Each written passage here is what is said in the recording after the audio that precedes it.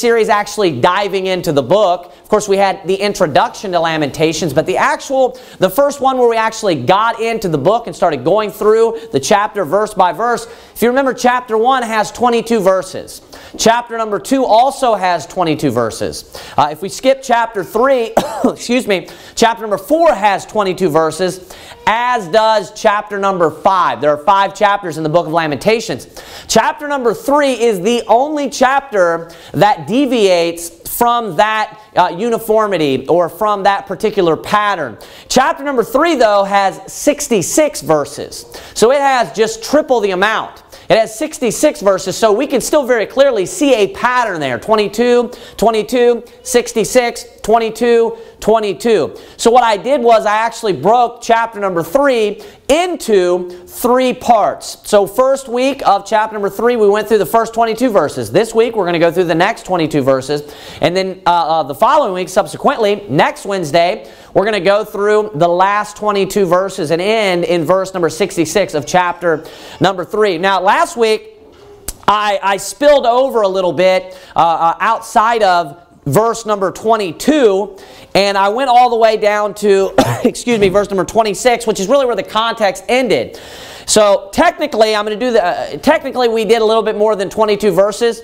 This week we are as well. I'm going to back up a little bit and we're going to begin in verse number 22 because that's where the context begins. Those paragraph markers can be helpful for you. It's not, you know, inspired by the Holy Spirit, of course, but those paragraph markers are just man reading and understanding where the context is. So if you'll notice there in verse number 22, you have a paragraph marker. That's where a new paragraph or a new context, context, you know, basically is what's going on there in this particular chapter. Of course, there is continuity, but there is a division there as well. Verse number 22, I'd like to begin reading. We're going to focus on a few different points here in these couple of verses. The Bible says in uh, Lamentations chapter number 3, verse number 22, It is of the Lord's mercies that we are not consumed because his compassions fail not. Let's read verse number 23 as well. They are new every morning. Great is thy faithfulness. Uh, last week when I preached through this, I focused on the, the, the man that has now revealed himself and started speaking, you know, from his own uh, uh, personal perspective more. Of course, it was the analogy or the allegory of the woman previously, the woman of Jerusalem as the city collectively. But in chapter number three, the man started kind of being more personal. He started speaking from his, his own perspective as he and I and things along those lines. I focused on how he was going through all of these horrible things, these atrocities, as I've referred to them as, and he still, even in that type of condition, got to verse number 22 and he praised God for his mercy. And the reason why is because we all, of course, deserve to be punished anyways. Look at verse number 22 and I want you to notice what it's actually saying here. It says, It is of the Lord's mercies that we are not consumed because his compassions fail not. Now, If we are receiving mercy, if it's of His mercies that we are not consumed, what do we deserve? We deserve to be consumed. That is what the writer or the author is conveying right there. He's saying, we deserve to be consumed. We deserve to be consumed. Mankind does because, of course, we all deserve death. We all deserve hell. We deserve the punishment for our sins. We deserve to be consumed. And it's of His mercies that we are not consumed. And then this is interesting as well. It says this, because His compassions fail not. Now, when it says his compassions fail not, this is kind of an archaic way to use the word fail. What he's saying is it, it didn't run out. Now, if you remember the oil that was in the cruse for the woman in uh, uh, Zarephath is what she's called in the Old Testament. The New Testament, she's called the widow of Sarepta. It says that the oil in the cruse didn't fail. That means that it didn't run out. That's what that means. That's how we would word that today. It didn't deplete or it didn't run out. So it's saying his mercies, they never run out. They're never depleted. They're never gone. That's what it means when it says his compassions fail not. Verse number 23, they are new every morning. Great is thy faithfulness. what's, that saying is, is that he's continually merciful. He doesn't stop being merciful. He doesn't run out of compassion. Now, that's interesting as well, and I didn't focus on this last week because what he's talking about is the fact that we continue to sin. So he says there, it is of the Lord's mercies that we are not consumed. Why? Because his compassions fail not. We may be able to be faithful and good and righteous for a very short period of time in our lives, for however long we can live without sinning, or maybe even if you want to consider a grievous sin, we may be able to go a longer period of time. But the, the, the truth remains that you are going to sin continually. You are going to continually sin, excuse me, in your life. Right. You'll sin today, you'll sin in three days, you'll sin in five, and you know, hopefully you're able to go long periods of time, very long periods of time without sinning, you know, in the sense of grievous sins or grievous transgressions, but you will continue to sin. You're going to continue to sin. And that's what he's focusing on here is our continual or perpetual pattern of sin. That's why he mentions that they fail not and that they're new every morning. Saying that when we continue to sin, it's just like how it says in Romans chapter number 5 when it talks about where sin abounded, grace did much more abound. We're going to continue to sin, but we can never out sin God's grace or we can ever never out sin God's mercy. Amen. He'll continually be merciful to our sin. He'll continually be merciful or gracious towards our sin. That's why he says, It is of the Lord's mercies that we are not consumed. Why? Because his compassions fail not. He's saying they don't run out. What does that imply? That he has to continually extend compassion to you.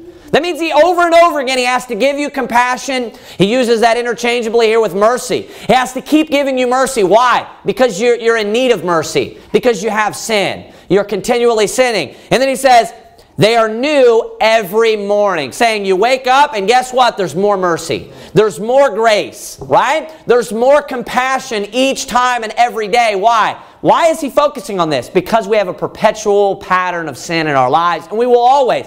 This is why it's so foolish and stupid for all these people that talk about, you know, you need to turn from all your sin in order to get to heaven. You just got to stop sinning. That is idiotic. And you're a liar if you say that you've just completely stopped sinning. You are a, a liar and a hypocrite. Nobody can turn from all of their sin. There is no man that has ever been able to completely make his heart clean. Doesn't exist. Doesn't happen. No man can turn from all of his sin. I'm thankful that his compassions fail not. Amen. I'm thankful that he's continually merciful to unto us and he's continually gracious unto us and that they're new every morning and that there's always going to be mercy there for me. You know why? Because I understand what the Bible teaches. I understand what Real, how reality is, and I'm a sinner. I could try my best to do the best that I can, but I'm going to continually sin. I, am going to, you know, uh, uh, like Paul talked about, how, you know, uh, who shall deliver me? Oh, wretched man that I am, who shall deliver me from the body of this death? He's saying, present tense, oh wretched man that I am. He even refers to himself as being carnal. He says, I, present tense, am carnal. Paul, while he's sitting down and the Holy Spirit is riding through him, he's saying, I'm a carnal man. O wretched man that I am. Right then. He said, Who shall deliver me from the body of this death? The only thing is, he says, I thank God through Jesus Christ our Lord. He goes on to, to, to thank God for Jesus Christ being his propitiation. And that's the reason why, and that's the, the means by which he receives grace and mercy. We're in need of continual grace and mercy. We're going to continually sin as long as we are in this flesh. Look at verse number 23. At the end there it says, Great is thy faithfulness. Now I want to plant an idea in your mind that you never, maybe never thought of. Now, at first glance, when you look at this guy's situation and his, his state that he's in, you could, you could probably think to yourself, like, man, it would be hard to, to talk about how faithful God is in this particular situation or context because he's being, he's being punished. He's, he's having all these horrible atrocities that are taking place in his life. And you could say, well, how, you know, it'd be hard to find God faithful in that kind of situation. But if we really take a step back, it's the exact opposite.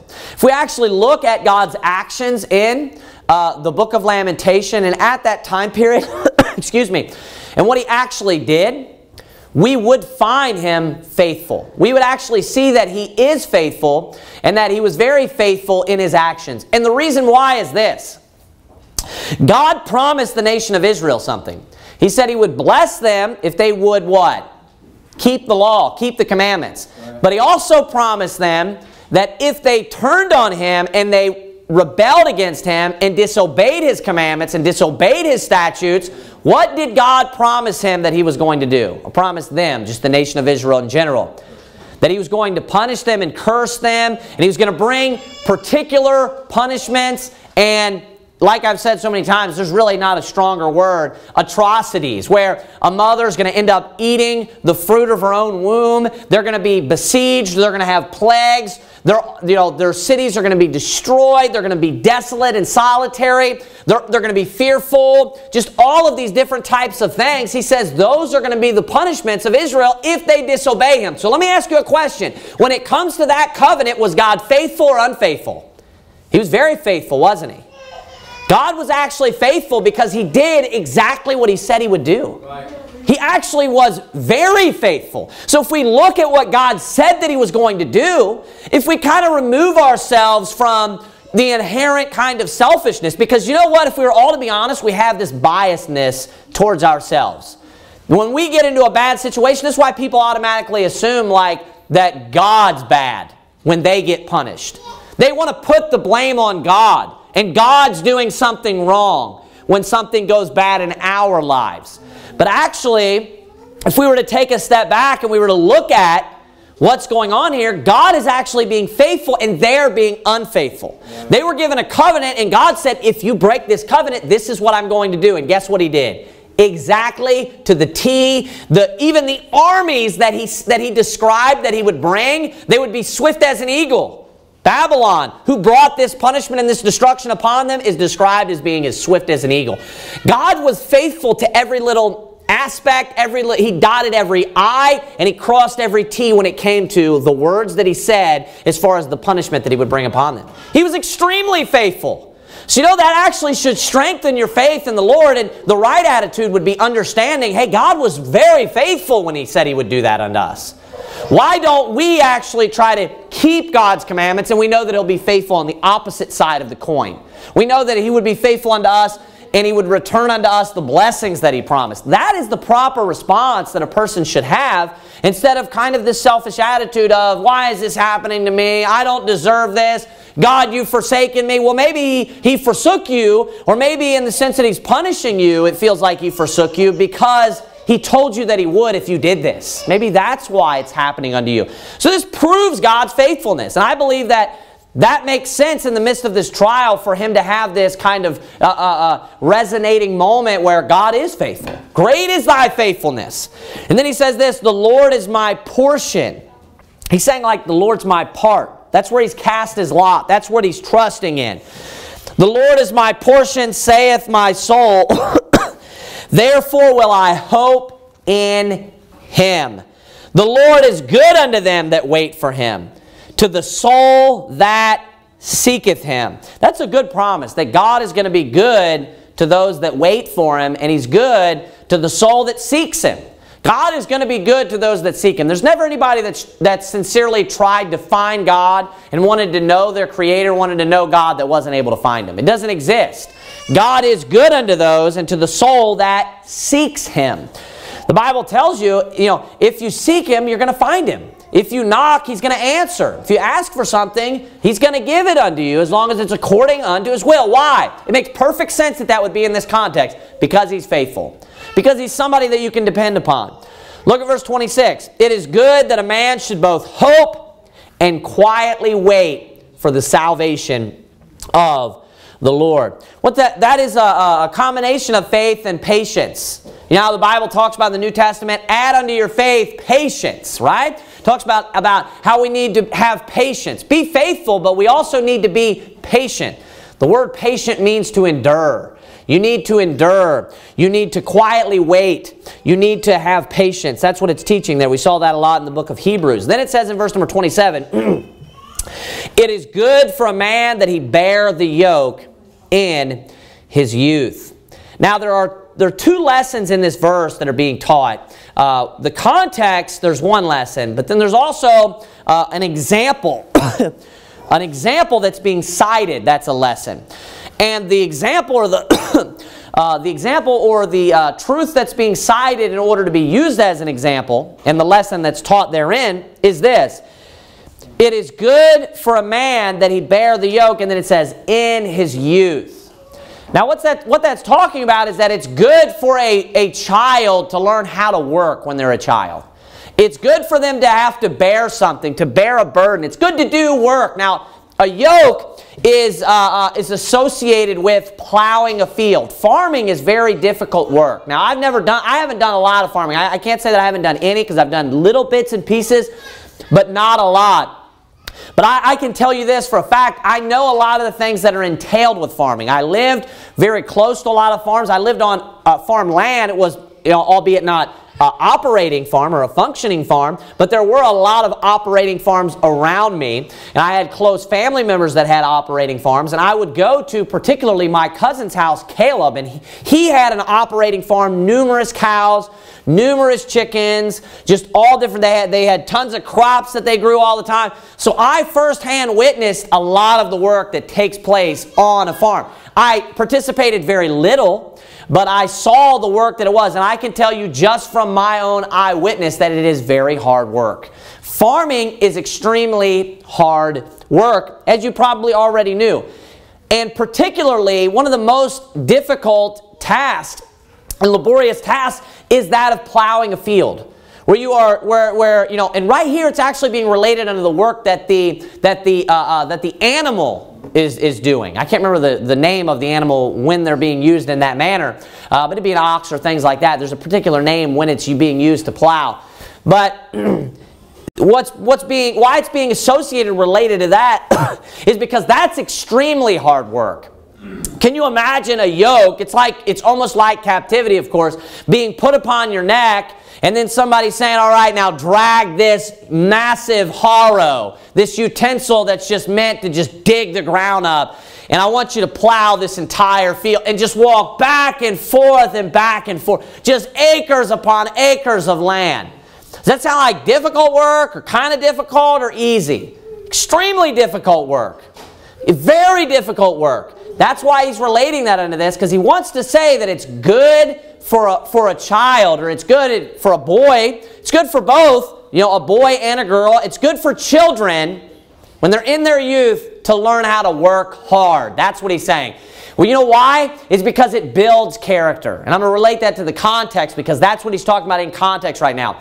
It is good for a child to learn how to work while they're a child because it builds character.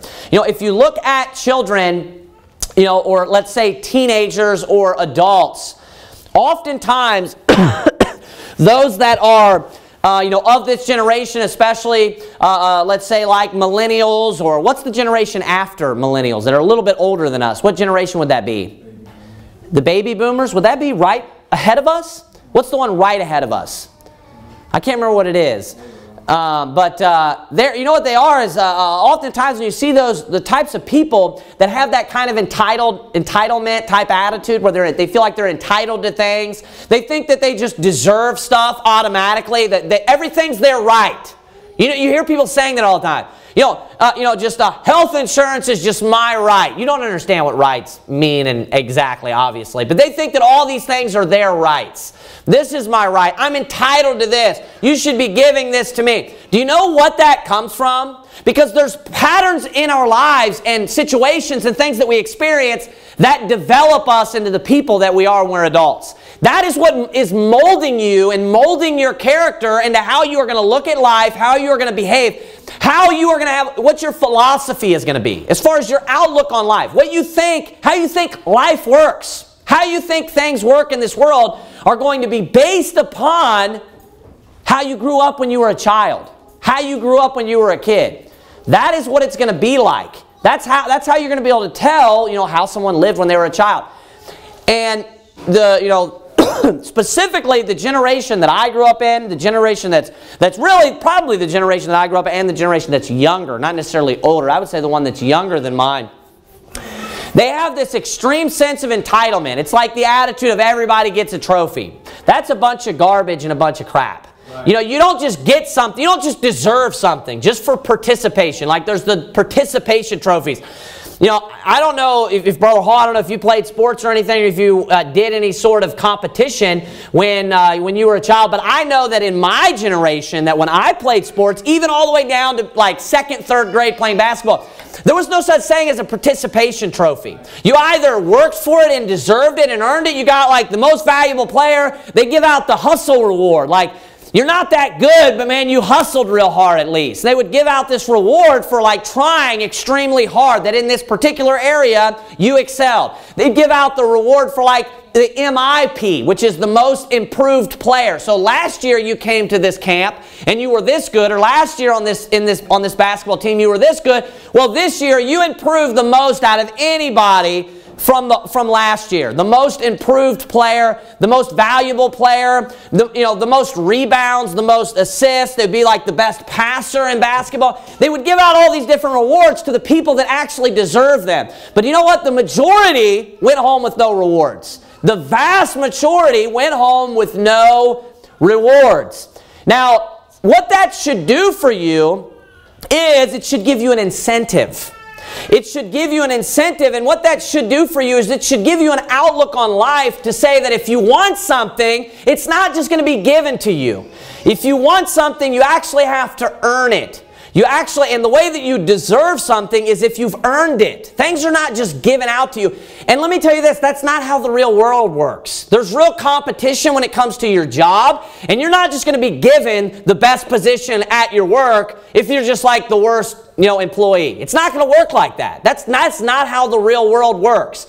The position of, you know, uh, manager, the position of supervisor, the position of the top tech or whatever type of field that you're in is going to be given to the person that deserves it the most. That's how things work. And when children are young, you know what you need to teach them is that they need to they need to work hard in order to earn or deserve things. They need to be able to work hard in their lives because that's what's going to that's what they're going to they're going to need this character when they get older. And if you just teach children, you know, when they're when they're younger, that hey, everything's given you. I'm just going to give everything to you. No matter. No, we need you know, and, and this is why I think chores are actually a good idea. And that when you have particular chores for children, I think they need to do their chores. And if they don't do them, they get in trouble. But I think that there's a good, uh, uh, um, you know, a, a good. Uh, it's a good plan to have incentives for chores. I'm not in, against having incentives for chores and giving people things, children things, if they earn it. Because it, you know what it does is it helps them build character and it, it, it instills in them the mindset of I have to deserve something, you know, in order to get it. Actually, and the way to deserve it is you earn it. You actually have to do the work.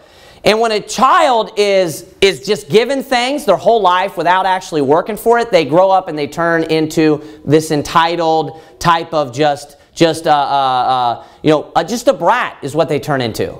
They have an entitlement attitude where they just think that they just need, they deserve everything. They don't have to work for it. They shouldn't have to do anything. They just deserve it. But when you grow up actually having to work hard and to get projects done in order to fulfill something, then you understand like there actually has to be work that goes into this to complete this. We actually have to fulfill that in order to get, you know, from point A to point B, I actually have to get work done and complete work in order to do this or fulfill this task. That's what, it, what it's teaching. So in context, I want you to understand this. Why is this being cited? Because he's talking about him as a man having to patiently wait for the Lord. He's talking about having to endure, and listen, this is very important, and there being hope at the end. He's saying that I'm going to endure and I'm going to quietly wait for the salvation of the Lord. But notice that he has to have character. That's what's important. He's talking about how it, it is, it is uh, uh, you know, uh, uh, necessary for him to have character, for him to have discipline and endurance to patiently wait for the Lord until he comes, and that's going to be his reward. Over and over and over again, the Bible talks about, this is why it's very relevant, the example that I just used. It talks about the coming of the Lord, and there's some things that are going to happen. And what's one of the things that's going to happen to us? What's going to be given to us when the Lord comes back? Rewards. You're rewarded for what? The work you've done. Verse number 26 talks about it is good that a man should both hope and quietly wait for the salvation of the Lord. Wait in the Bible is talking about enduring. Right now he's talking about going through hard times, talking about going through trouble. What's the type of person that can make it through hard times or tribulations or trials? It's a person that has character. It's a person that has discipline. Children learn discipline when they're a child. They, a, a, a person that has self-discipline when they're older is a, is a child that was disciplined when they were younger. That's how someone has self-discipline. You learn that through being disciplined when you're younger. It instills in them and shapes them and molds them, and then they have it as a characteristic when they get older or a virtue, which is uh, self-discipline. When you teach your children to work and to work hard and that you'll receive rewards if you do good and you only get it if you work hard, it builds in them this sense of character and it also shows them how life is because you're going to have to fight through trials in order to get through them. So he's using the, the principle about uh, it being good for a man when he's in his youth to bear the yoke. It's good for children to work. You know, you shouldn't have this attitude where your kids you know, are just constantly sitting around and you're serving your kids. That's not how it works. You know, when we're at, when, when, when mommy's getting the dinner table ready at our house, Michaela is up right next to her side, getting all the cups, getting all the food. You know, mommy is the head chef and Michaela is the She's not even a chef. She is just the servant under mommy. That's what's going on. She gets all the silverware ready. She gets all the food ready. You know, she's, she's, she's dishing out plates every time when we sit down at the dinner table. Anytime that I go out to do any kind of like, you know, manly work or anything at all, the boys are always there with me doing whatever kind of work it is. Every single time. And when they start crying and whining and wanting to go inside, what do I say, Jessica? Not happening. Not happening. You got, you better, and I, I tell them, repeat, and I get on them repeatedly about, you know, stop acting whiny and things like that. They need to be able to learn how to fight through stuff like that. They need to learn how to get some discipline. Because you know what? After a few minutes of them crying and whining, I'm hot, I'm sweaty, there's flies on me, there's gnats on me, and I tell them to shut up and stop whining like a little girl, do you know what they end up doing? Just shutting up and just fighting through it. And then the next time they come out, maybe they'll whine a little bit for a few minutes and then they see I'm not going to put up with it. Shut your mouth. No, I'm just kidding. Yeah, I'd say be quiet and be good. You're not going inside. You might as well just be quiet and just do what I'm telling you to do. And I always tell them, I try to uh, uh, help them to understand it, give them understanding of actually what's going on. If you'd stop whining, you're just wasting time right now while we could be actually putting work and investing time into this task to get it finished, and then we could be inside faster. So you're just. All the whining because you're not going inside no matter what. So all the whining is just causing us to be out here longer with whatever work we're doing. So how about you just shut your mouth and work hard, and then we can go inside sooner. You know what they end up doing? Shutting up and working. And then over time, you know, Jeremiah is still in the phase where he just cries and whines. You know, hopefully we're able to get him out of that. But uh, you know how he is. But Elijah is now to the point where if he goes outside to do a task with me, he shuts his mouth the entire time. He, he hardly ever cries and complains and whines if he's by my side. Hardly ever, no matter what I'm doing. He'll just continue the whole time and he'll just work the whole time because he knows that he just has to. So what happens is over time you start they start to develop this character and mold into this character where they know that hey, I just have to do this. This is just something that I have to do. Well, that, that example is being used for an adult in this situation of going through hard times. He's comparing that unto his trials and tribulations and hard times that he's going through in his Christian life in the sense of Jerusalem being destroyed, and all of the just catastrophes that have taken place in Jerusalem. And he's saying that this is good for me. It's good for me to be able to learn to wait and to hope for my reward later. Look at what it says because notice the context speaks about looking forward to hope while you're in the midst of a trial. It says in verse number 29, He putteth his mouth in the dust, if so be, if so be there may be hope. Now that's talking about someone that is, that's talking about someone that's bear, bearing a yoke. Saying he's putting, how is your head when you have a yoke on you? Down, right? So it's saying like he puts his, his, his mouth in the dust, like his head's down and he's just plowing away and his mouth is in the dust. Why? Because there's hope. Because there's a time, why? Because there's a time when you're going to be done. There's a time when you're going to be finished.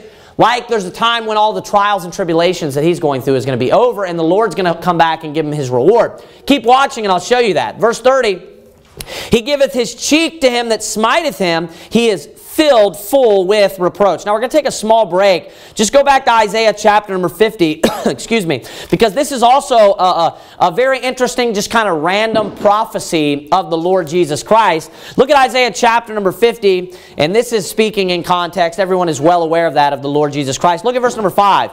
The Lord God hath opened mine ear, and I was, excuse me, was not rebellious, neither turned away my back. This is talking about Jesus being perfect and, and being sinless. I gave my back to the smiters, watch this, and my cheeks to them that plucked off the beard. beard I'm sorry, the hair. Uh, uh, I hid not my face from shame and spitting. Now that is a prophecy of the Lord Jesus Christ. You'll notice the statement that's in there is this, and my cheeks. So that's the you got to take the full statement from verse 6 I gave my back to the smiters and my cheeks. So he's saying he gave his cheeks to them that plucked off the, the beard, or the hair. I'm sorry, I did that again. Uh, it's talking about the, the hair on his cheeks, so he's talking about his beard. That's why I kept doing that. But it says, he's saying he gave his uh, uh, cheeks to them that plucked off the hair. So if you look at it and compare that to Lamentations chapter number 3, it's saying almost, it's very, very similar in verse 30, he giveth his cheek to him that smiteth him. So notice that. And remember, Jesus, they were smiting Jesus with the rod. They were plucking off the hair of his beard. This is talking about Israel being punished. Jesus took Israel's punishment. He is Israel in the sense that he is the seed of Abraham. Israel is the seed of Abraham. This is very prophetic of the Lord Jesus Christ bearing our punishments. And if you remember, Jesus actually said, Come unto me, all ye that labor and are heavy laden, and I will give you rest. And then he talks about how, he says, For I am meek and lowly of heart. And he says, that, and, he, and he talks about how his, how his yoke is light and his, and his burdens are easy. And notice right here it's talking about a yoke. So we see this connection here uh, of just kind of a, a, a, hidden prophecy in there about the Lord Jesus Christ. Very similar statement. And it even says this, He is filled full with reproach. Notice it says He is filled full with reproach. Who? Jesus bore our reproaches. He bore our sins. So that's a prophecy there of the Lord Jesus Christ. For the Lord will not cast off forever. If you think about Jesus, what was his situation? You know, he, said, My God, my God, why hast thou forsaken me? It was as if he had, had cast him off or for, he had forsook him. So he's saying he will not cast off forever. Why? Because after three days and three nights, he rose again from the dead. Verse 32, But though he caused grief, this is talking about God, it's talking about uh, Jesus, uh, or I'm sorry, the Lord punishing. But though he caused grief, Yet will he have compassion according to the multitude of his mercies. Now, if you tie that in with verse number 22, remember it says, It is of the Lord's mercies that we are not consumed because his compassions fail not. So even though we're going through this grief and these trials and, and, and punishments, you know, the Bible is teaching here that he still is going to have compassion on us later. Yet will he, even though we're going through this grief and he caused this grief, yet will he have compassion according to the multitude of his mercies. Verse 33, For he doth not afflict willingly, nor grieve the children of men. Now that's a very, very interesting verse. Because it says, For he doth not afflict willingly. That's saying that he doesn't want to afflict them. Like God does not desire or want to cause punishment to us. Uh, uh, turn to Ezekiel chapter 18, a very famous verse. it's the very next book in the right with the wrong way. To your right, Ezekiel chapter number 18, and it's verse number 23. it says, This is the Lord speaking, Have I any pleasure at all that the wicked should die, saith the Lord God? and not that he should return from his ways and live. So notice God is saying that that's not what I want is for the wicked to die. He's saying that what I would desire is that the wicked would turn from his evil ways. Now this is also found in Ezekiel 33, very similar statement, but he's saying I don't have pleasure in this.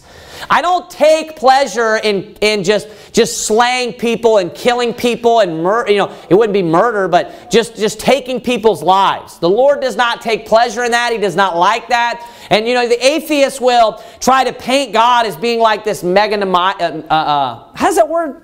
Megalomaniac. Megalomaniac. You know, I messed myself up there for a minute. Megalomaniac That still is not, I don't think, exactly right the way that I pronounced it. But uh, uh, just being sadistic, right? He's just like like like the Lord is like this this this sadistic, weirdo, crazy person. He's just like sadistic's like where you're enjoying other people's suffering.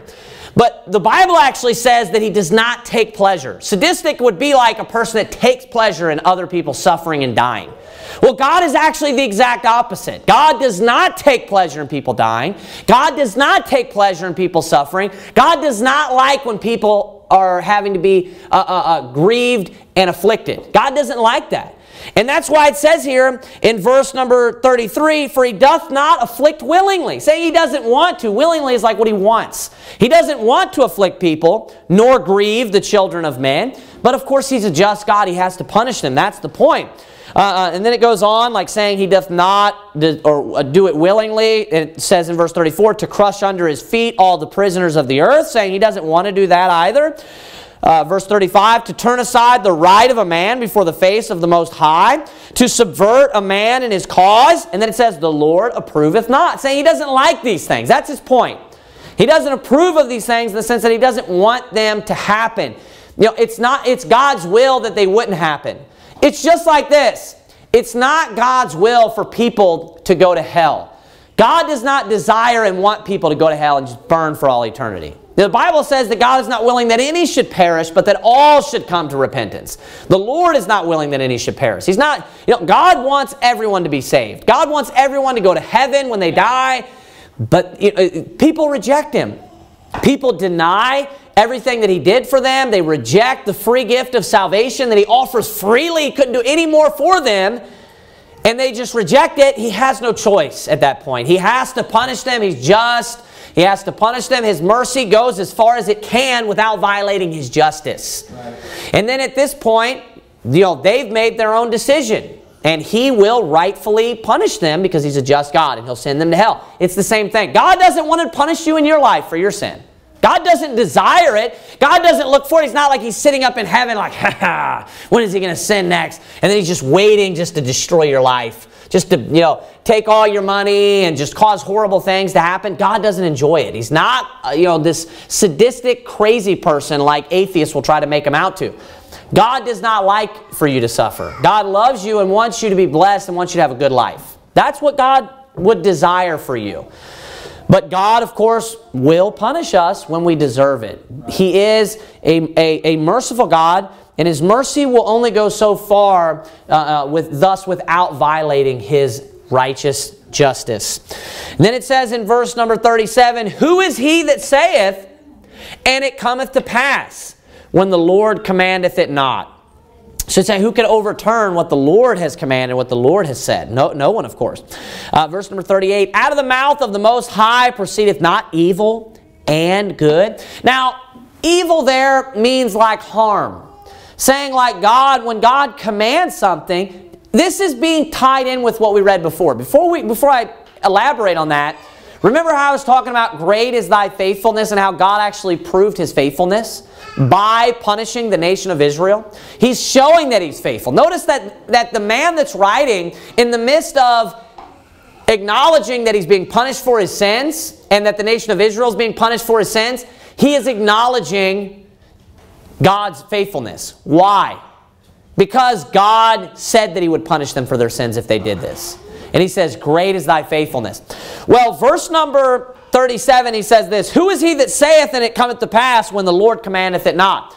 Saying that no one can overturn what the Lord said that he would do. God told them that if you violate my commandment, I'm going to punish you. That's why it says in verse 38, Out of the mouth of the Most High proceedeth not evil and good.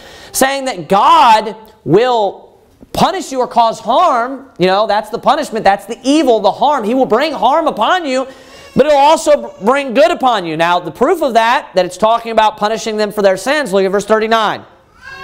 Wherefore doth a living man complain and a, a man for the punishment of his sins? So notice that no man can overturn the commandment of the Lord, saying that God is going to be faithful and God will not not punish you when he says that he will.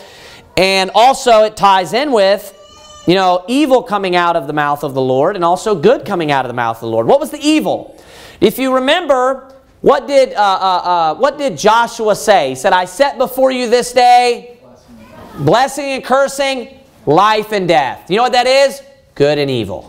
That's what that is. That's what this is talking about. Out of God's mouth proceeded what? Blessing and cursing, life and death, good and evil. And what he's saying is, who can overturn God's commandment? Doesn't proceed out of the mouth of the Lord good and evil, life and death, blessing and cursing?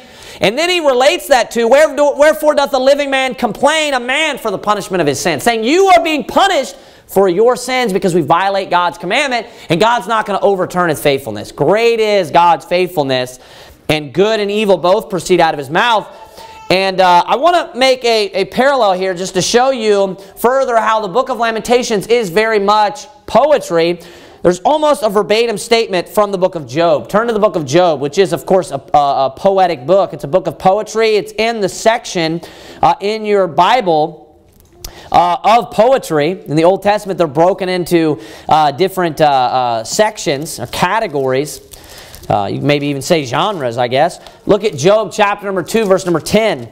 It says this, But he said unto her, Job speaking unto his wife, Thou speakest as one of the foolish women speaketh. What? Shall we not shall we receive good at the hand of God, and shall we not receive evil? In all this did not Job sin with his lips. So notice a very similar statement. Like, shouldn't we receive good and evil from God? You know, God is going to give good and evil. Why? You know, because we sin. So God's going to bring evil upon us when we do bad things. God's going to punish us. Negative things, uh, uh, uh, you know, provoke a negative response. They procure a, re- a, negative response from the Lord. Good things procure good, good response from the Lord, a good response. uh, so then it says in verse number, look at verse number 40, it says, Let us search and try our ways and turn again to the Lord. This is like talking about examining yourself.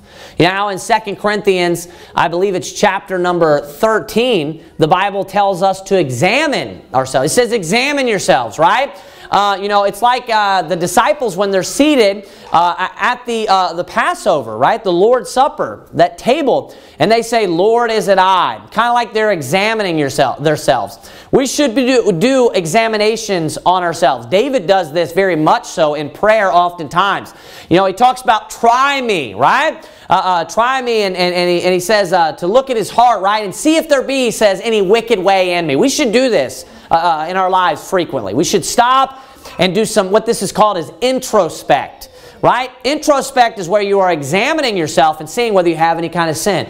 Sin creeps up very suddenly in our lives and we won't notice it. So it's good to stop and examine ourselves. And what you can do is before, if you do that often, what you can do is you can nip it in the bud. You can get rid of it while it's, you know, before it's got this, you know, this big large tree that's grown up. You can get rid of it while it's a small problem before it grows into a bigger problem. So we should often be examining ourselves. And notice how he words this in verse 40. Let us search and try our ways. And then he says, and turn again to the Lord.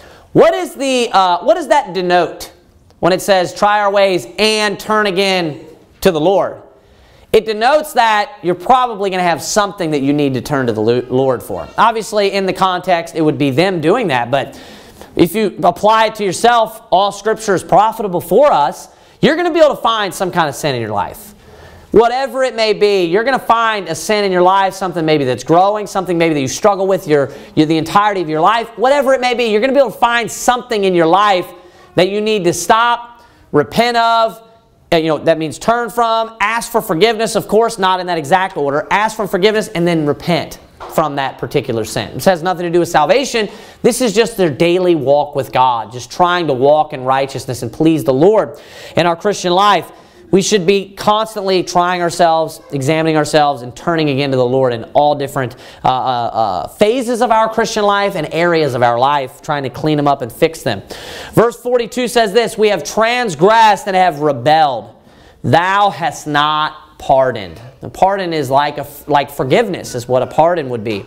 Saying that God did not forgive them this time. God punished them. Verse 43 Thou hast covered with anger and persecuted us.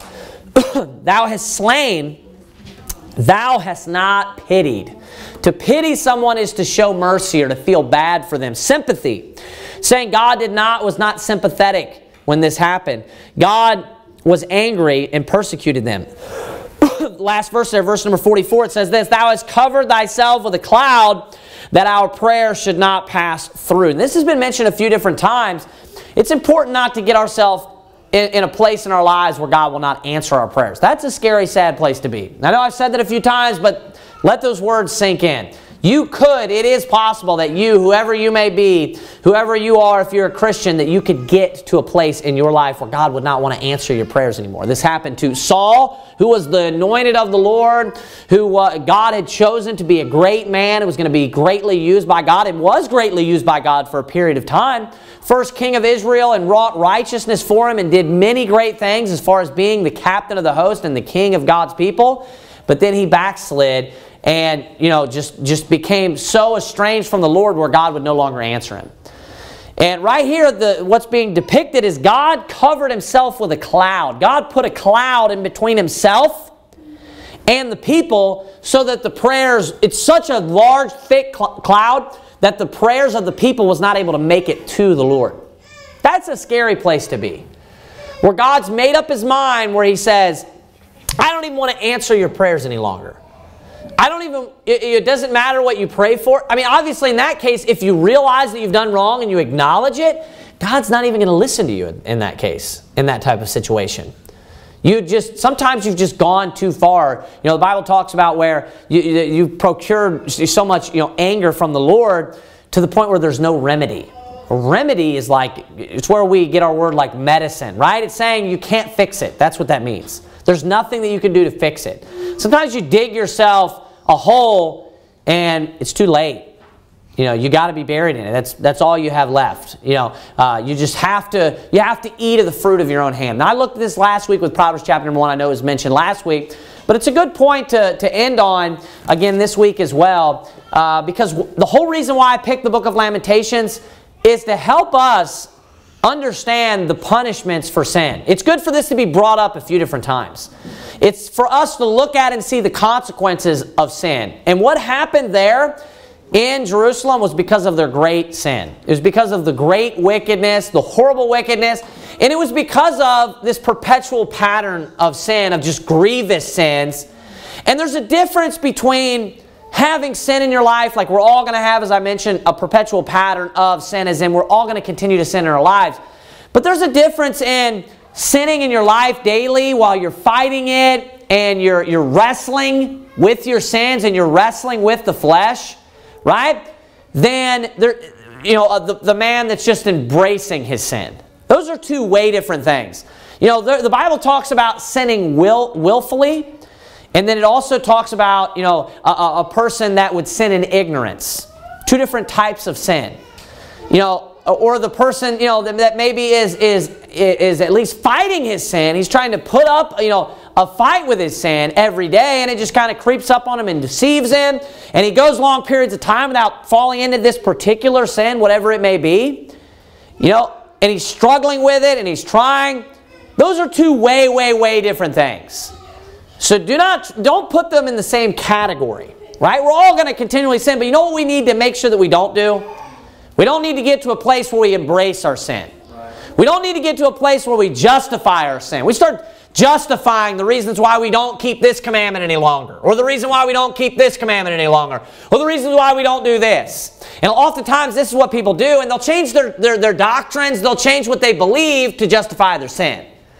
Or they'll change the things that they stood for in the past. When somebody starts liberalizing or apostatizing, they all the time they start changing all of these convenient doctrines that just suit them in the position they're in. Whatever predicament, whatever situation that they're in, if they're struggling with something, it's a lot harder to continually fight that struggle than it is to just give up and say, ah, oh, I don't believe that's wrong anymore. You know, it'd be real easy for, it's real easy for the drunkard just to say that he doesn't think that getting drunk is a sin. That's what they would tell you. Yeah, I don't think, ah, oh, Jesus drank wine. That's the kind of foolishness that people would say. Why? Because they're trying to justify their sin.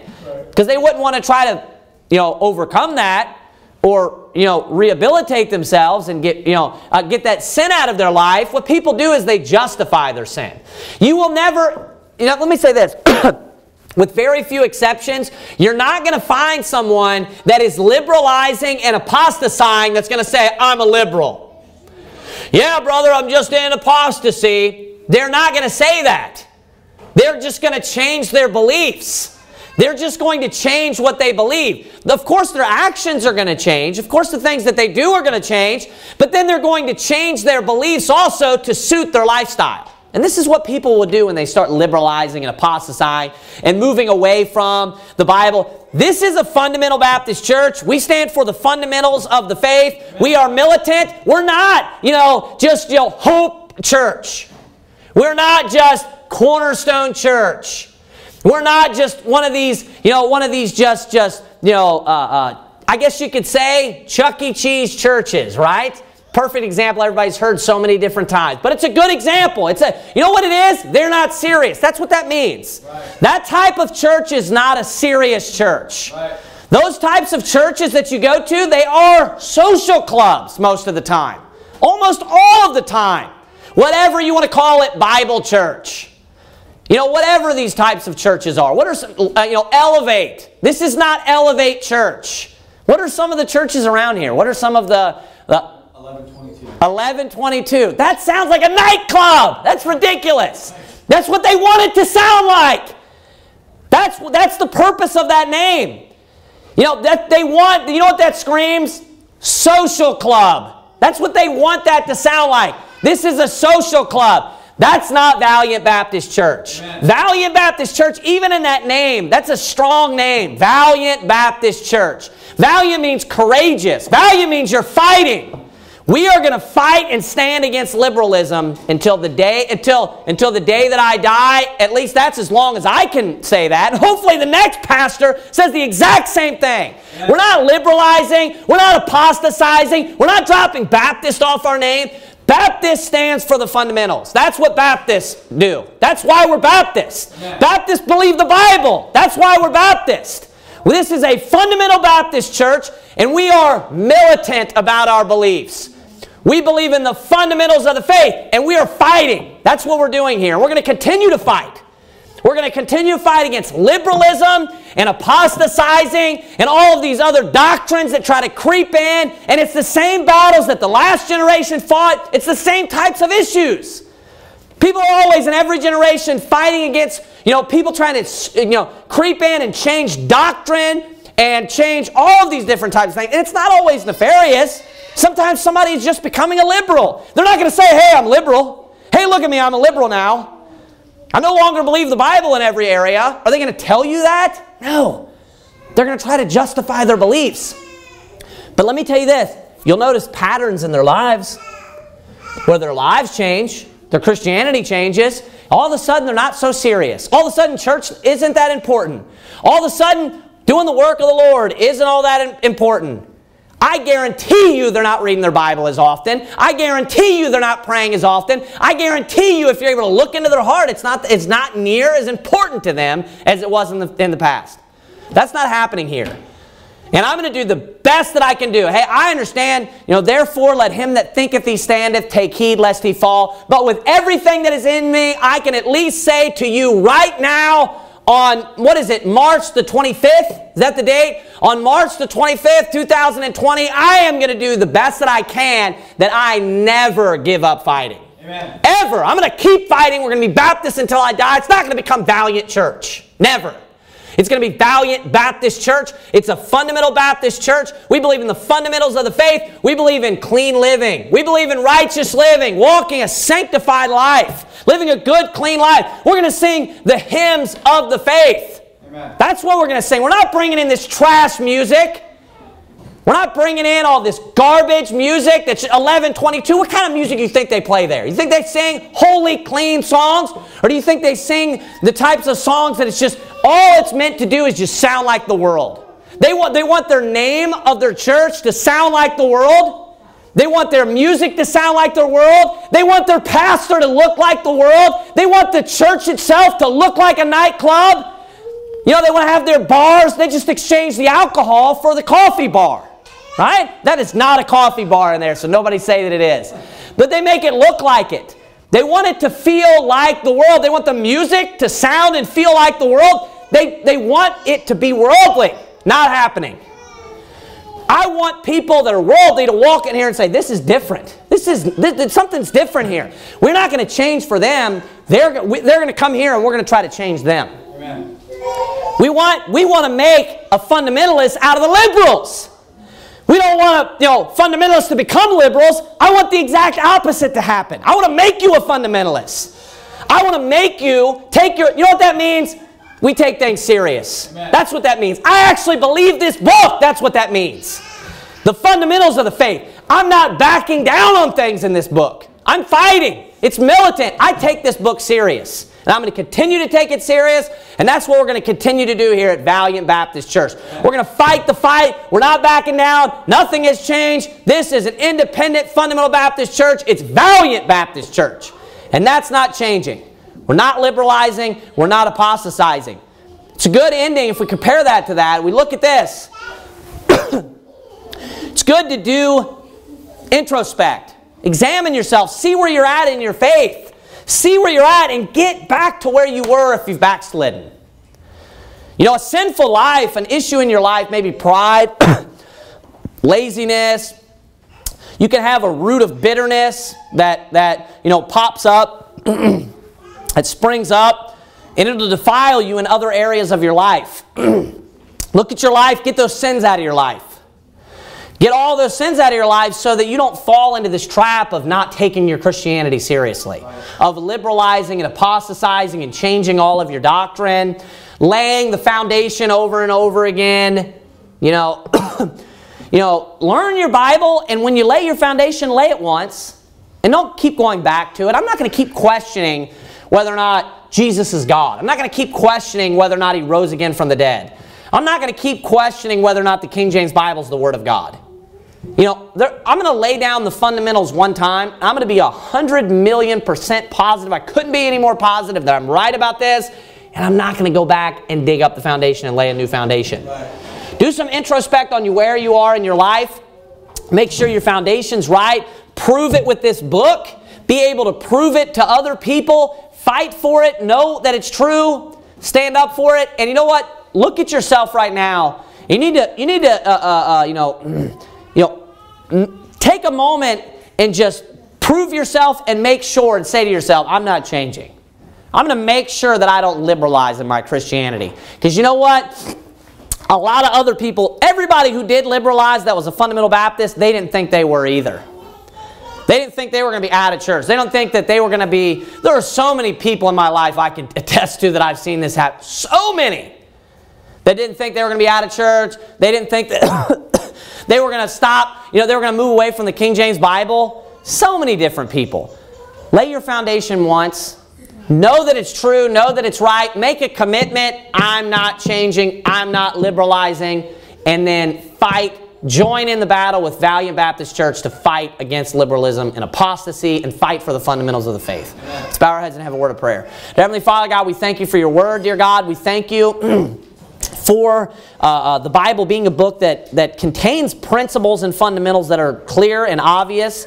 Help us to fight for them. Help us to stand for them. Help us to be courageous and valiant and warriors for the truth, dear God. We thank you for everything you've done for us. We thank you for the book of Lamentations. Help us to learn much from it, learn character, learn sufferings, learn the consequences of sin. There's so much, dear Lord. Help us to be good parents and to, and to uh, teach our children to work hard and not allow them just to, to be whiny brats that just think that they can get whatever they want for not doing anything. Help us to uh, just do a good job, all of us, everyone in here, do a good job in every area of our life. Help us to, to actually care and be concerned about whether or not you are pleased with us. We love you so much, and in Jesus Christ's name, amen.